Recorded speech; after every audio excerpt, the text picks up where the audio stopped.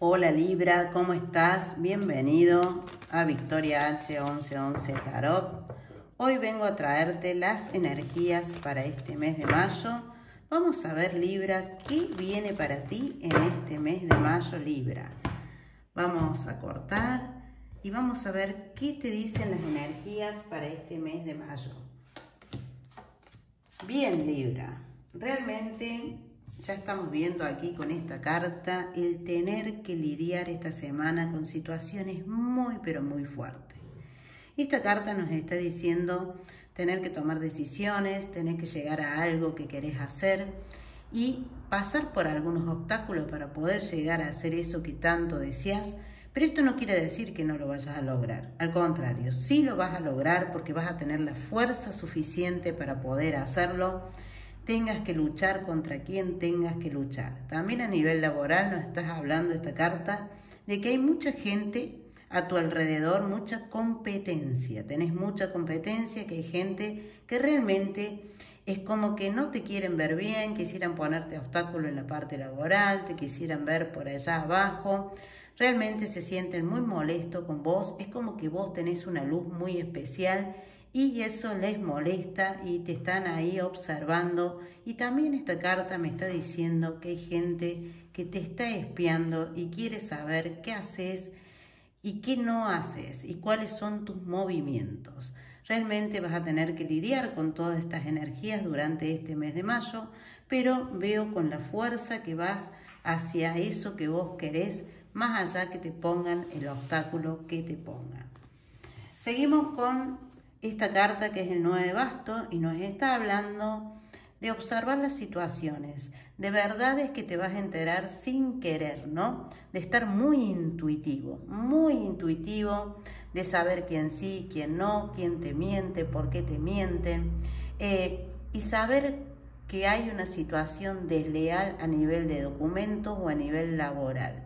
En la parte que tiene que ver con lo sentimental, conexión y mucho fuego. ¿eh? En la parte sentimental, en la parte de pareja nos está hablando esta carta. Pero también a su vez nos está diciendo esta carta que vas a poder lograr con mucho esfuerzo, sí, mucho esfuerzo, eh, situaciones que, bueno, que van a necesitar de, de que vos estés concentrado en esto, ¿no? Y también Puede que nos esté hablando de que se tenga que arreglar algún tema de documentación o papeles con alguien del pasado. Como vemos, después la energía que nos sigue es la reina de espada. Y la reina de espada nos está hablando de una persona fuerte, intuitiva, que sabe lo que quiere, hacia dónde va y va a ser más mental que emocional.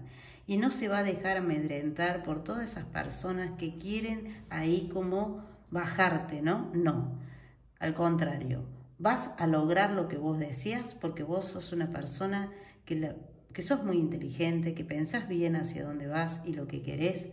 Y te veo ahí fuerte, ¿no? Pero también te invita a que te tomes un tiempo de relax, porque te va a hacer falta tomarte un tiempo, desconectarte de todo.